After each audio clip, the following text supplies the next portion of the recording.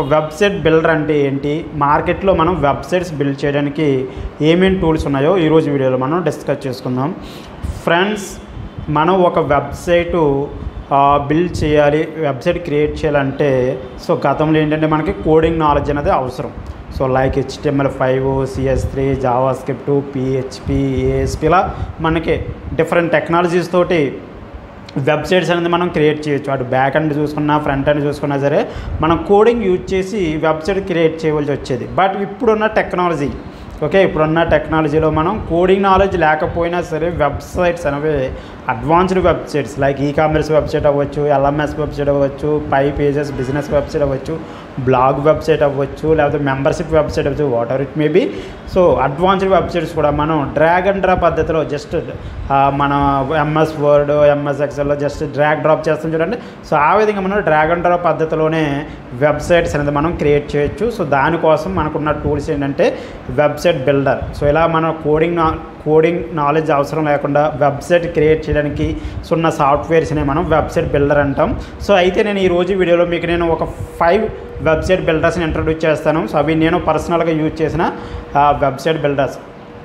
So అందులో first one ఏంటంటే WordPress friends WordPress use చేసి మనం ఆశం అంటే ఆశం వెబ్సైట్స్ అనేది మనం క్రియేట్ చేయొచ్చు. వెబ్లో ఫార్టీ త్రీ పర్సెంట్ వెబ్సైట్స్ వర్డ్ ప్రెస్తోనే బిల్ అయ్యి according to W WordPress dot O R G ప్రకారం మనకు forty three percent of websites word ప్రెస్తోనే బిల్ అయ్యి దాన్ని బట్టి మీరు అర్థం చేసుకోవచ్చు. వర్డ్ ప్రెస్ అనేది ఎంత పాపులర్ వెబ్సైట్ బిల్డర్ అన్నది. సో నెక్స్ట్ వచ్చి ఇందులో ఏంటంటే మనకి డిఫరెంట్ వెబ్ పేజ్ బిల్డర్స్ అయితే ప్లగిన్స్ ఉంటాయి. లైక్ ఎలిమెంటర్ అవ్వచ్చు. ఓకే నెక్స్ట్ వచ్చేప్పటికి గుటెన్బర్గ్ అవ్వచ్చు లేక లేకపోతే ఓకే ఈ విధంగా మనకే ఇందులో పేజ్ బిల్డర్స్ ఉంటాయి. సో బై డిఫాల్ట్ వచ్చేది గుటెన్బర్గ్ సో మనకి ఏంటంటే ఎలిమెంటర్ అన్నది ఎలిమెంటర్ ప్లగిన్ వేసుకోవడం వల్ల సో ఎలిమెంటర్ పేజ్ బిల్డర్ అనేది వస్తుంది. సో ఈ పేజ్ బిల్డర్స్ యూజ్ చేసి మనం మనకు నచ్చిన విధంగా మనం వెబ్సైట్స్ అనేది మనం క్రియేట్ చేయొచ్చు. అది కూడా డ్రాగ్ అండ్ డ్రా పద్ధతిలో ఎటువంటి కోడింగ్ నాలెడ్జ్ లేకపోయినా జస్ట్ మనం స్టెప్స్ జస్ట్ బటన్స్ క్లిక్ చేస్తూనే మన మనకు కావాల్సిన విధంగా డిజైన్స్ అనేది చేసుకోవచ్చు. సో ఇందులో ఏంటంటే మనం కావాల్సిన విద్యుత్ని డ్రాగ్ చేసుకుంటాము. డ్రాగ్ చేసుకున్న విద్యుత్ని మన యొక్క ప్యాన్లో డ్రాప్ చేసుకుని అక్కడ మనకు నచ్చిన కలరు బ్యాక్గ్రౌండ్ టెక్స్ట్ ఇవన్నీ మనం ఈజీగా మనం చేంజ్ చేసుకుని మనకు నచ్చిన విధంగా కస్టమైజ్ అనేది చేసుకోవచ్చు. సో ఇందులో ఏంటంటే మనం ఈ కామర్స్ వెబ్సైట్స్ బిల్డ్ చేయొచ్చు మెంబర్షిప్ వెబ్సైట్స్ బిల్డ్ చేయొచ్చు బ్లాగ్ వెబ్సైట్స్ బిల్డ్ చేయొచ్చు అడ్వాన్స్డ్ క్లాసిఫైడ్స్ వెబ్సైట్స్ బిల్డ్ చేయొచ్చు. సో ఈ particular WordPress technology use చేసి. సో అయితే ఏంటంటే ఈ వర్డ్ ప్రెస్ అన్నది free open source software so ఎవరైనా సరే ఈ వర్డ్ ప్రెస్ అనే సాఫ్ట్వేర్ని ఫ్రీగా డౌన్లోడ్ చేసుకుని యూజ్ చేసుకునే ఛాన్స్ అయితే ఉంది. సో అయితే ఏంటంటే మీరు వర్డ్ ప్రెస్ అనే సాఫ్ట్వేర్ యూజ్ చేయాలంటే మీరు మస్ట్ అండ్ షుడ్గా హోస్టింగ్ అన్న తీసుకోవాలి.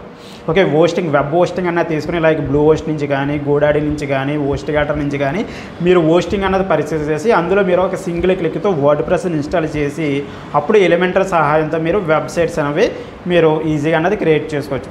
నెక్స్ట్ ఉన్న ప్లాట్ఫామ్ ఏంటంటే విక్స్ సో విక్స్ ద్వారా కూడా మనం డ్రాగన్ డ్రాప్ పద్ధతిలో వెబ్సైట్స్ అని బిల్డ్ చేయొచ్చు. కాకపోతే విక్స్ ఏంటంటే ఒక సాస్ టూల్ ఇప్పుడు వరకు ఇప్పుడు వరకు చెప్పే ప్రతి టూలు విక్స్ కానీ చెప్పే ప్రతి టూలు కూడా SaaS tools.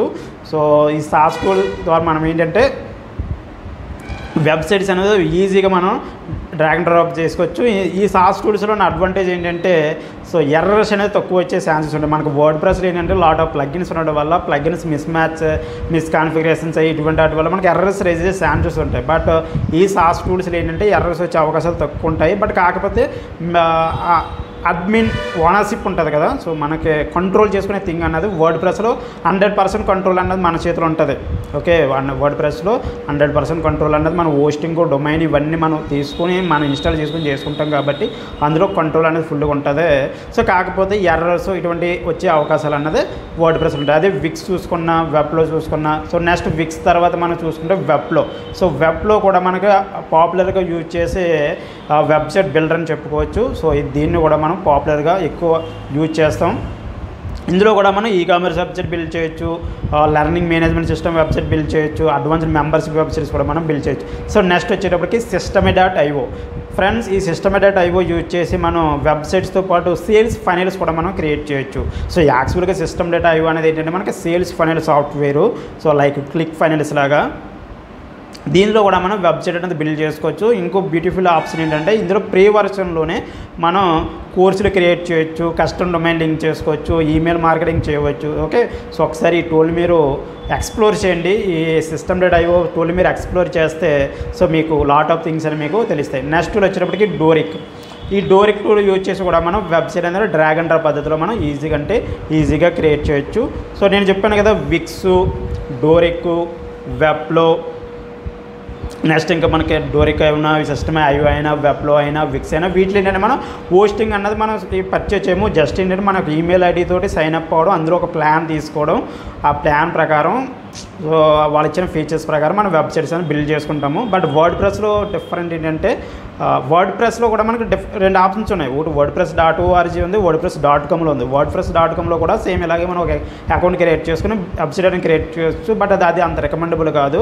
So WordPress dot ఓఆర్జీలో ఏంటంటే మనం వర్డ్ ప్రెస్ని డౌన్లోడ్ చేసుకుని మన హోస్టింగ్ అన్న తీసుకోవాలి. ఓకే హోస్టింగ్ తీసుకుని అందులో ఇన్స్టాల్ చేసుకుని మన వెబ్సైట్స్ అనేది బిల్డ్ చేసుకోవచ్చు. ఓకే సో ఇది ఫ్రెండ్స్ వెబ్సైట్ బిల్డర్స్ కోసం. సో వెబ్సైట్ బిల్డర్ అంటే ఏంటి? డిఫరెంట్ వెబ్సైట్ బిల్డర్స్ ఏంటో మీరు ఈ వీడియోలో క్లియర్గా తెలుసుకోవడం జరిగింది. సో మీకు ఏమైనా ఈ వెబ్సైట్స్ బిల్డ్ చేసేటప్పుడు ఓకే వర్డ్ ప్రెస్ అవ్వచ్చు లేకపోతే విక్స్ ద్వారా అవ్వచ్చు వెబ్లో ద్వారా అవ్వచ్చు. సో వీటి ద్వారా మీరు వెబ్సైట్ బిల్డ్ చేసేటప్పుడు మీకు ఎటువంటి టెక్నికల్ హెల్ప్ కావాలి అనుకుంటే మీరు మమ్మల్ని సంప్రదించవచ్చు ఓకే? Thank you